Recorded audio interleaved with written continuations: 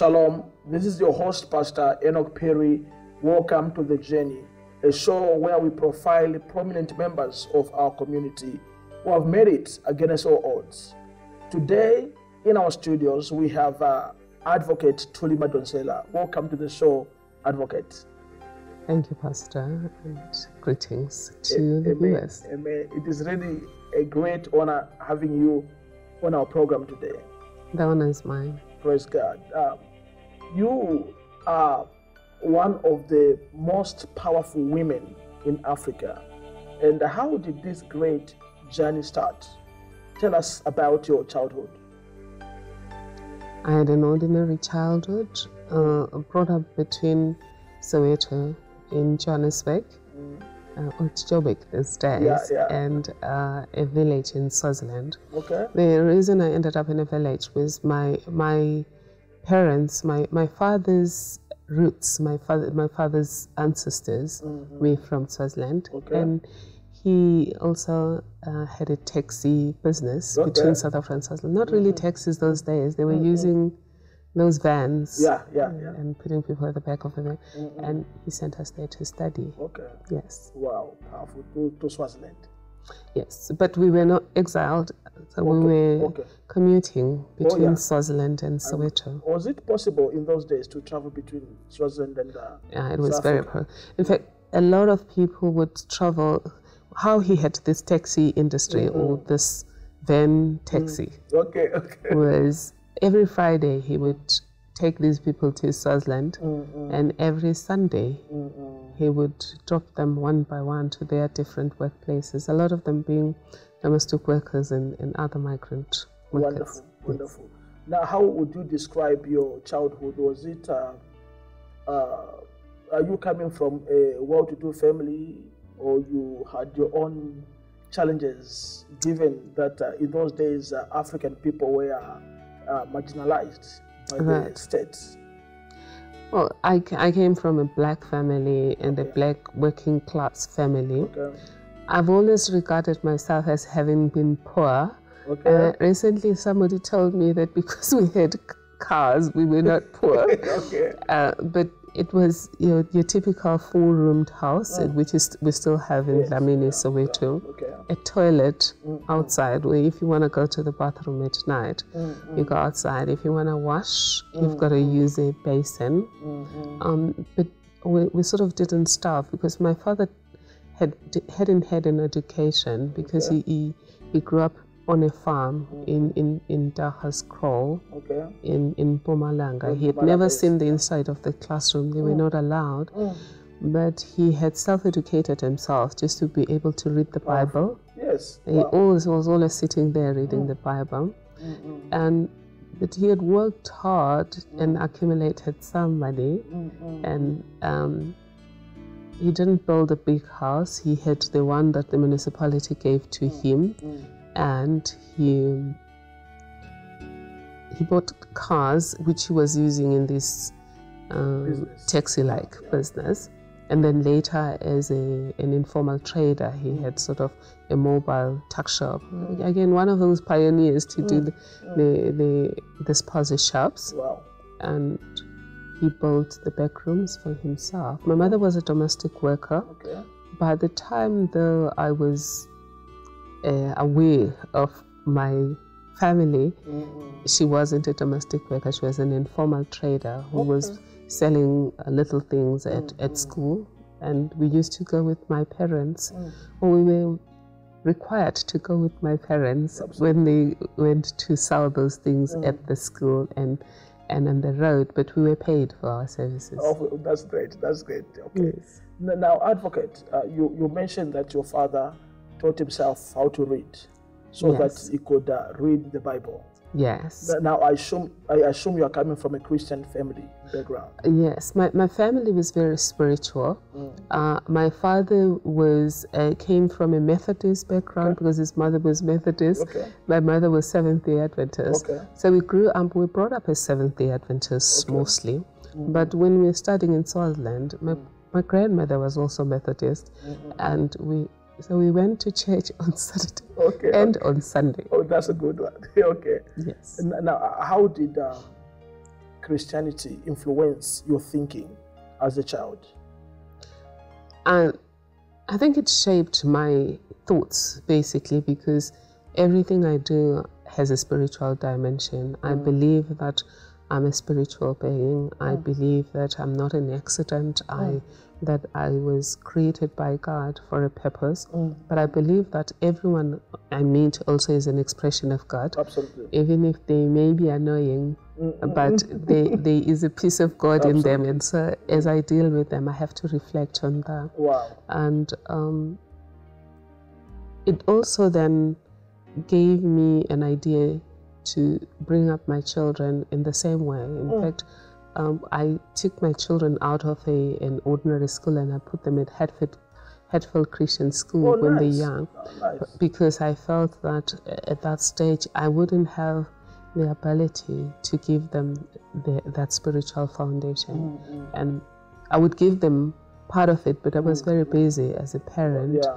yeah. And the church then would give them the same foundation that I was given Mm. by my church and my parents, because my father, in particular, was somebody who was always reading the Bible. Mm. We were the, one of those families where you you always have to sing at night before you yeah, you sleep and read the Bible mm. and and and, and pray together as a family. Wow, powerful. How, how many are you in your family?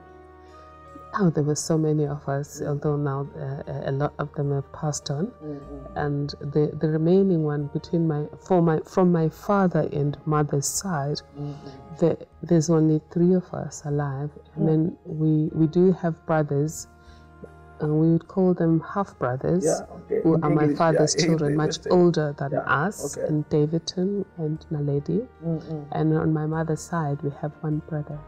Mm, wonderful, wonderful.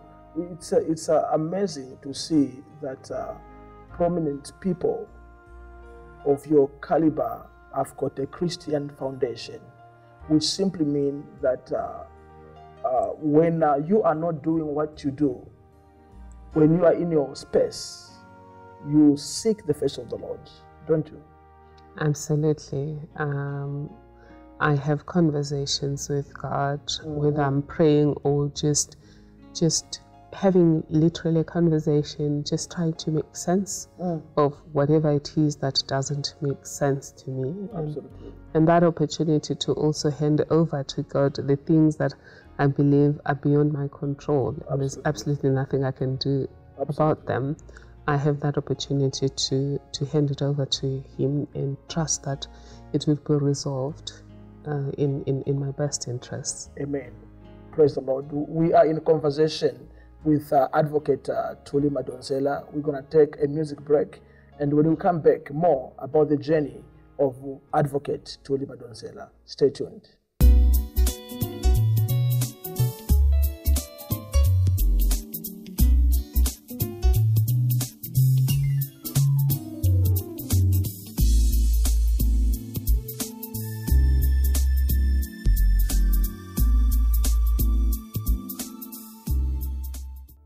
Welcome back. Uh, I'm in conversation with uh, Advocate Thuli Madonsela, sharing her journey with us. Uh, uh, Advocate, as a teenager, what highlights do you have to share with uh, our brothers and sisters out there?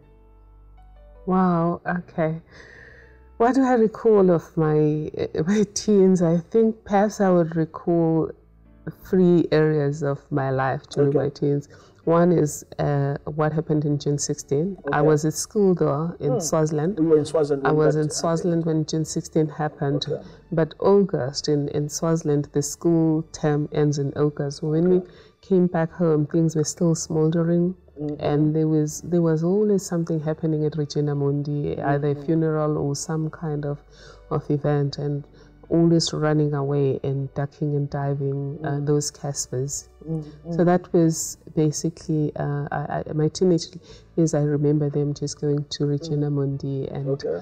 and um, sort of the beginning of my awakening because getting exposed to these uh, kind of uh, of issues around what's happening in our country. Although my father had always exposed us, Okay, uh, he yeah. had a lot of respect for Mandela. Okay. Uh, he, he spoke about him and his courage all Mm. the time. at school, what I would remember during my teenage years um, is uh, the fact that um, what was happening around that was important. Other than that, I was in the music choir. Is I was it? in the So school can you choir. sing? No, not idols kind of singing. I can't sing in the shower. Yeah, yeah. And my children's friends think I sing well. Okay. I don't know why they just sing gospel music or something. And, and at, at my school, we were also allowed to have those, uh, your, your, your little um, quartet or a little group. So I had my my trio, uh, me and, and, and, and, and two of my friends, always liked to go and sit. Being a young person, always liked to go and stand there in front of the assembly and sing. And there was some guy, Har- Harry Van Castle, who used to play the piano for us. okay. Wow. And at church, I was one of those people who was very super active.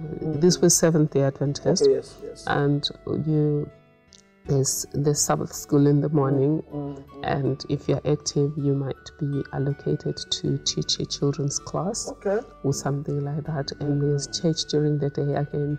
We had our trio that was singing all the time. My, my, my younger sister passed on, Kumbuzile, and Ntlantla, a friend of mine, were always singing. And then we had uh, uh, a, a youth thing in the afternoon where I we were uh, we would be teaching each other. I was active in that, and on Sundays we would then have community service.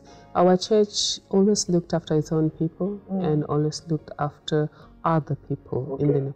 It Now, this is the church in yes Swaziland in particular. this is the Seventh Day Adventist. But the same the same approach was used by the Seventh Day Adventist okay, Church here in in Snow. okay, okay. Yes. Powerful, powerful. Yes. I know that uh, when you attend classes at uh, at uh, Seventh Day Adventist, you get grounded. Yes. For, for so many years, I've been reading the writings of E.G. White It's very much inspiring. Very much It is. inspiring. Yeah, it is. Absolutely. Now, during this period, as, as a youngster, did you face any challenges like boys and, uh, and uh, any normal uh, issues which face our young people besides the political atmosphere in South Africa? Yes. Well, uh, what would have been the challenges? I think, um, no, I, I think when I was in, in the teenagers, yes, there, there were those uh, uh, one or two issues with boys, but uh, I, I wasn't into boys. I think I had, I, I had my first relationship when I was already in, in matric, not matric, or just before matric, yes. Mm. Wow. But you know, boys who go to to the same church with you are not problematic. Yeah. I yeah. think the problematic ones came much later when I was no longer at church.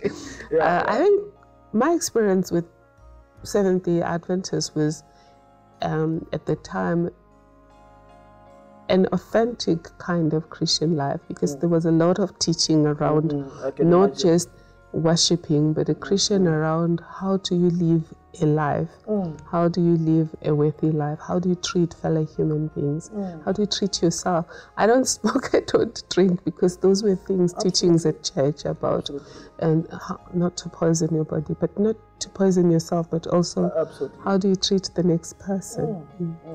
Uh, As the Bible says, that train up a child in the way a child should go, so that when they grow up, they won't depart from it. So um, your, your Christian foundation is very strong. I, I think it, it was very strong, but I'm, I'm not going to say that I was always straight and narrow thereafter. In Yeah, fact, yeah. I have a very strange uh, journey when it comes to spirituality. I was a staunch Christian, the one who's always praying, the one who's always finding an opportunity to preach at school, at church, to stand in front there Wow. whether I'm gonna preach or whether I'm gonna. And it's a st- stage they tried to marry me off to a pastor when I was so young for that. But Wow. then I became an atheist, total atheist, not an agnostic, an atheist. Wow. Uh, yes, in my you shocked in my uh, young adult life. When I went to university, I uh, I became a Marxist. You know, Okay. Marx Yes, thinks I- yeah, religion is the yes, opium yes. of is Yeah. the opium of Religion the is an people. opium, yeah, yeah, yeah, yeah. Wow, wow, Yes. wow. Wow, this is powerful. Uh, we will continue this discussion next week as we talk about uh, how the advocate discovered purpose for his life and where he is uh, currently. Before we close, I just want to share with you from the book of uh, Romans, chapter 8, verse 29, where the Bible says, For those whom he foreknew, he also predestined to become conformed to the image of his Son, so that he would be the firstborn among many brethren. Thank you very much, uh, Advocate, for having you on our show It's been an honor. and uh, God bless you. Thank you very much to our viewers. God bless you, and uh, till we meet next week. Thank you.